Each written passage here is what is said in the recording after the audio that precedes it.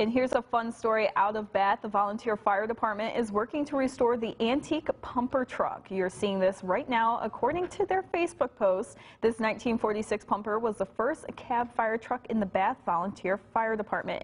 The antique was found just sitting in a barn in Thurston. The volunteer fire department began working on restoring this truck earlier this week and we'll be sure to update you when the work is finished.